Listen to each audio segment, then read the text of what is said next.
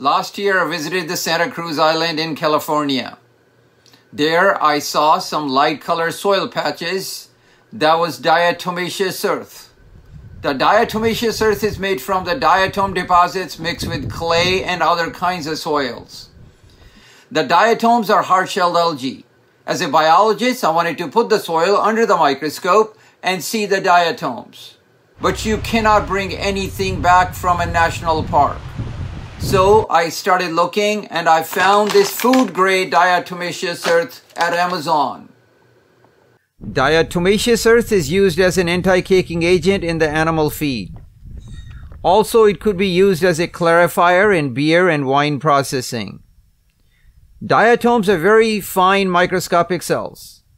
Diatomaceous earth is used in toothpaste to scrub the teeth gently and remove plaque.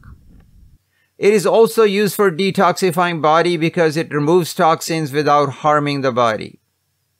People with weak bones suffering from osteoporosis could benefit from consuming this because it's a good source of calcium.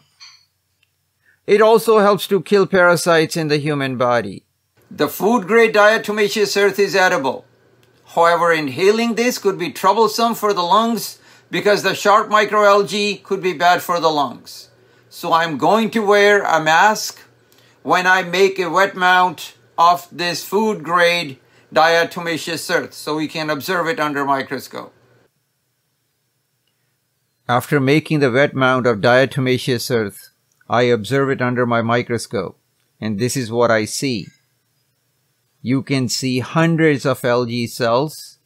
The cells are many kinds. Some are boxy, but the others are different shapes.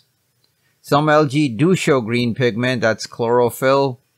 It is hard to believe that many cells are sold in a bag. It could be more than a trillion cells in that bag of diatomaceous earth.